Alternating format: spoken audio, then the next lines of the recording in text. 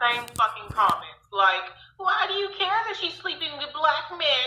What does it matter to you what she does in her sex life? Olivia, you're weird. You're obsessed with her pussy. Why do you care about who she sleeps with? The reason why I care about who she's sleeping with is because she's taking divestment talking points, for one. She's taking divestment talking points only because she knows it'll get her views, and she's mad at her baby daddies. That's why it bothers me. To me, when she takes divestment talking points, she destroys divestment. She destroys divestment because she makes divestors look as fucked up as she is. And sh- people will associate her with divestment. You see all over the manosphere people calling Cynthia G divested. And when this happens, it makes divestors look like a mess. Okay? And honestly, let's just be honest. Cynthia G is a whole 100% rejected, dejected black woman. That's what she is at the end of the day. And people like her have that problem. Now, why is it so much of the time that rejects want movement, it only hurts divestment. We don't need to embrace them or encourage this type of association because it only makes us look bad in the end. Continue. That a bitch can sit up on live for two hours, three hours straight, talking about how black black men are sugar booties, how black men are addicted to boys, how black men have dirty dicks, how black men are trash bag, dusties, or whatever the fuck you know, she makes really stupid analogies. But my point is, you can sit on live all day talking about how, how nasty they are, how buck broken they are, how they don't choose you, but you go and suck a black dick. That's stupid. It's fu- It's not just stupid. What does it say about her? It says that she's dirty, that she's degenerate, that she's disgusting, and she values herself on the same level as those destroyed and dis- disgusting black men it implies that she is disgusting too, because what is the female counterpart of disgusting men like these black men that she's talking about are going to be basically equal to those black men. You know, that's why you don't choose those black men because if you choose them, it implies that you see yourself on the same level as those black men. You know, if you think you're too good for them, then act accordingly, but she doesn't. And her actions say more than her words do. And her words are only for money. Because we all know what she actually originally said. I don't understand why people always try and act like, oh, it's uh, just basically what she says now, and I like what she's saying now. But do you remember what she originally said about black women who interracially date? She doesn't like them, and now she's not any different. She's attacking people for interracially dating, specifically black men, but you really mean to tell me she thinks that black women are any different when honestly, her main issue with black men isn't anything different than what she would say about a black woman.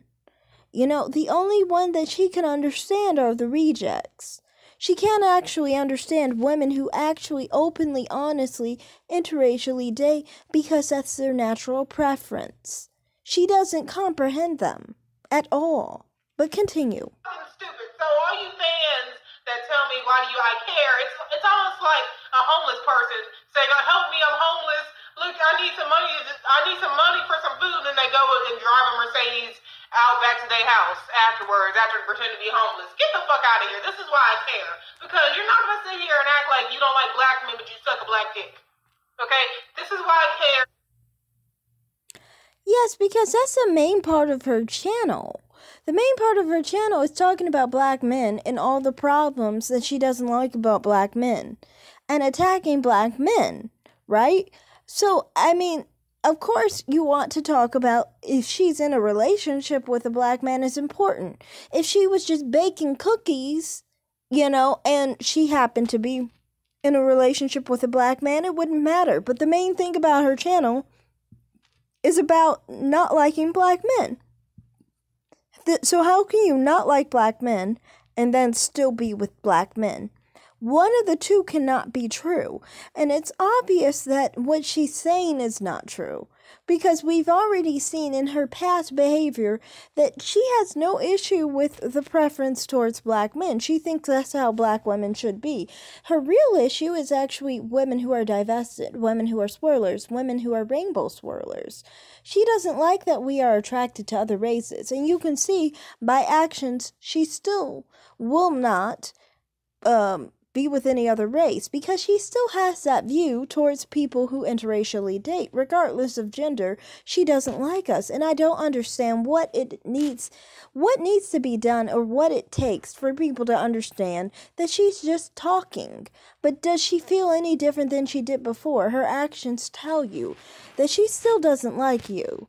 She doesn't like the divestors, she doesn't like the swirlers, and she doesn't like the rainbow swirlers, you know, and that's why she won't open up her options ever because she is pro black and she is pro black men. She just uses you for money. Fools.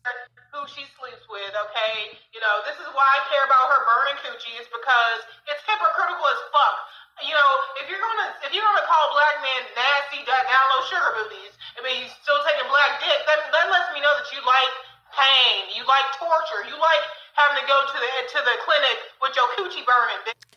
And more than anything, it means that she's diseased.